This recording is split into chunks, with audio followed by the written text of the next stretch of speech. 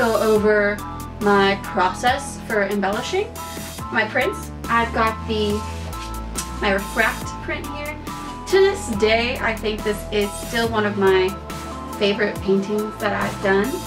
And what I want to do is do, you know, my limited edition series of embellished prints for this one. I have it going for Fullerian and now I want to move on to Refract. And the reason that I want to make this video is because when I was researching how to embellish prints, I did not find much information out there. So I had to do a lot of trial and error in figuring out what works for me. And I'm sure this is not the only way to embellish prints. There's gotta be countless different ways to achieve a similar outcome. But this is what works for me. It may not work for you, but I just wanted to share what I found because I didn't find a lot of information. Oh, first, I am super jealous of those people that can like paint with their hair down or craft with their hair down. I cannot do that. I will always, without fail, get stuff in my hair. It, I'm just special like that. It's just like a sponge. So, if you're in your art studio, you can use a paintbrush.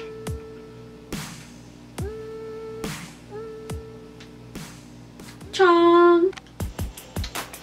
Alright you guys, so I've got my workspace set up and all my supplies set out. First I have my glitter, and this is a pack of um, just assorted colors that I got off Amazon. It's a wonderful pack, it has a lot of different colors, and it's just loose glitter in there. And the ones that I have set aside are the colors that I am considering using for this. I'm going to kind of see as I go. Um, these is like a brown blue color. I've got green and gold. I've got teal and white and this really nice purple color. And then I have this set out. This is a Giclée print finish, a matte finish. And this is called Timeless and it's supposed to protect your prints. Protect your prints. I've found that it works as a great adhesive for the glitter. Um, you can use this all over your print to protect it, Personally, I think it dulls the print and I wouldn't use it like that. I would only use it for what I'm going to be putting the glitter on.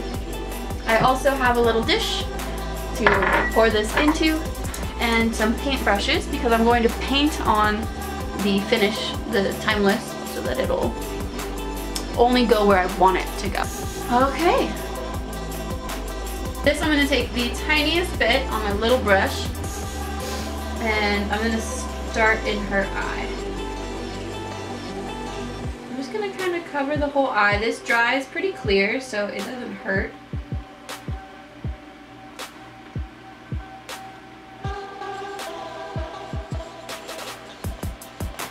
I'm being careful to paint the adhesive around her pupil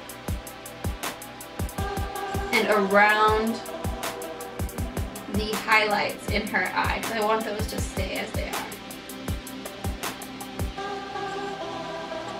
Okay, so those are ready to go. Maybe I can zoom on in here. There we go.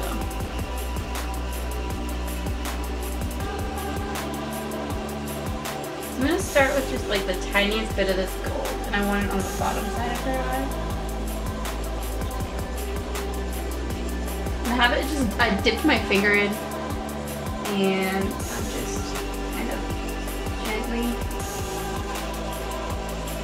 dropping it on the underside of her eye.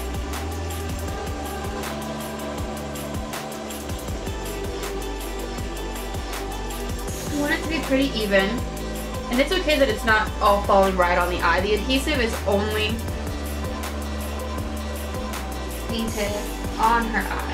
So the rest will just kind of fall right off. And the other color I want to use is the kind of greenish color for her eyes. So what you can do, you can also use a brush, and I've enjoyed using this as well. I'm just kind of tapping it.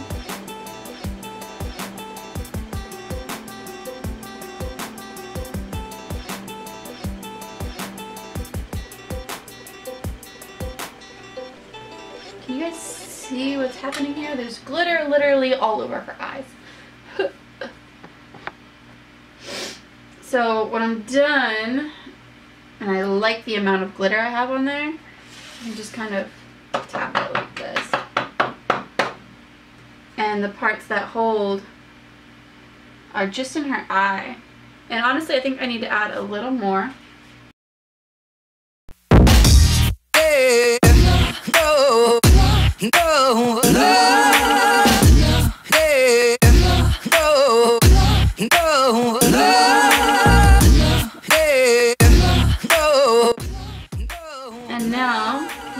See that in there? Got glittery eyes. Oh my god, I love it. I absolutely love it. Yes. Yes. Okay. Woo, that looks so good.